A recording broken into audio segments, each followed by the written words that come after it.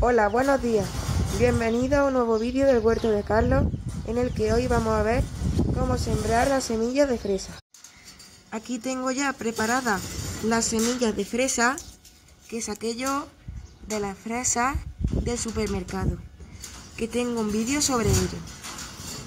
Y ahora lo que vamos a hacer es sembrarla en un, em, si queréis, en un tetrabrí de leche o en otro envase, porque no sé cuántas van a salir.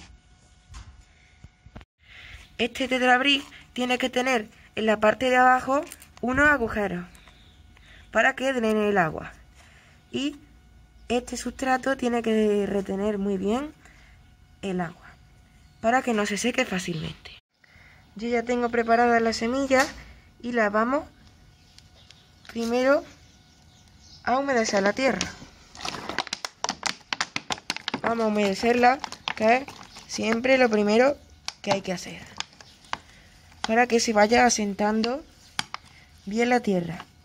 Si no se me escucha muy bien, es que llevo mascarilla porque ahora tengo alergia al olivo. Entonces si no estaría estornudando todo el rato. Ahora que está bien humedecida la tierra, vamos a echar la semilla esparciéndola por encima del tetrabrí. ¿Veis? La vamos esparciendo que queden separadas porque si nacen que no salgan todas pegadas. Para luego para que luego sea más fácil trasplantarla yo voy a echar todas. Bueno no voy a guardar alguna por si acaso. Y así es como queda veis las semillas están todas bien esparcidas.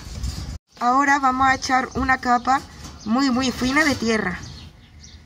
La tengo aquí preparada y con las dos manos lo que tendríais que hacer es frotarla, pero como yo ahora mismo estoy grabando, no puedo. Entonces, voy soltando poquito a poquito hasta tapar la mayoría o todas las semillas. Solo muy poquito. Porque si no les va a costar muchísimo germinar. Entonces ahora acabamos de echarle la capa finita.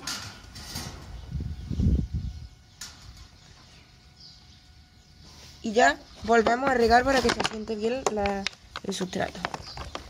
Con nuestra regadera casera. Que os enseño a hacer en un vídeo.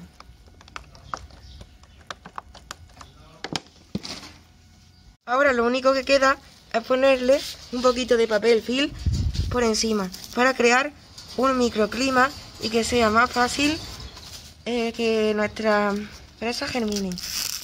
Ahora, por último, vamos a hacerle unos pequeños agujeros encima. Vamos a ir haciéndole unos pequeños agujeritos para que pueda entrar el oxígeno.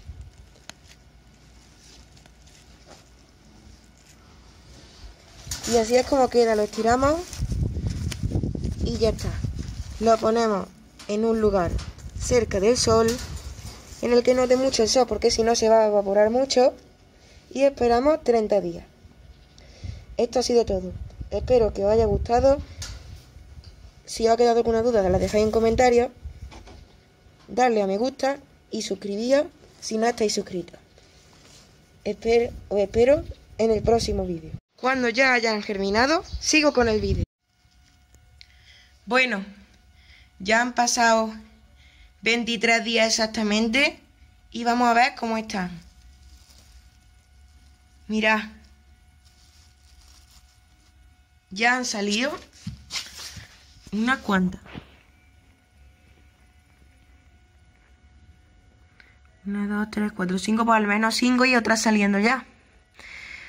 Esta la llevo viendo desde un montón de tiempo, por lo menos 10 días, y veis que ya está sacando una hojita verdadera, que es esta de aquí. El resultado muy bueno. Como podéis ver, 23 días. Es lo que me ha tardado a mí, esta 13. Y estas han empezado a salir hace poco. Van a ir saliendo más. A ver si se anima alguna más a salir. Bueno, así es igual con la fresa, fresón, o como lo llamáis, frutilla también. Con el fresón no creo que haga falta que haga un vídeo porque es igual. Pero vamos que si no, si queréis que haga también de fresón me lo dejáis en comentarios, pero no creo que lo necesitéis. Y bueno, esto ha sido todo. Ya haré un vídeo de cómo trasplantarla a macetitas chiquititas o, o a vasitos. Cuando pasen más o menos un mes todavía, que está muy chiquitita. Y pues enseñaré la evolución. Y espero que os haya gustado. Si os ha quedado alguna duda, le dejáis en comentarios. Suscribíos si no estáis suscritos y darle a me gusta. Os espero en el próximo vídeo.